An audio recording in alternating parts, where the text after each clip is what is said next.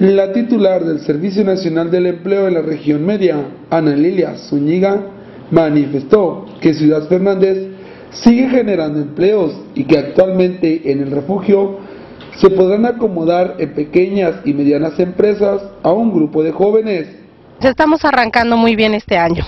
El día 17 de enero iniciaron a capacitarse 20 personas desempleadas, específicamente un poco más del municipio del refugio. Este, este curso de capacitación tendrá una duración de un mes, donde pretendemos colocar el 90% de estas personas. Todas las personas que nosotros estamos colocando en diferentes comercios del municipio del refugio, está la promesa de la contratación. Nosotros estamos preparando a los jóvenes para lograr que se queden colocados. El Servicio Nacional de Empleo les otorga una beca económica y el empresario nos apoya únicamente proporcionándole 100 pesos a la semana para su transporte.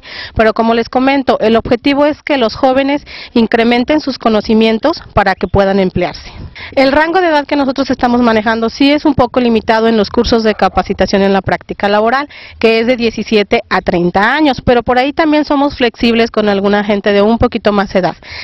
Requieren únicamente su credencial de lector vigente, su comprobante de domicilio, alguna, eh, algún SUCURP y algún comprobante de estudios por ahí.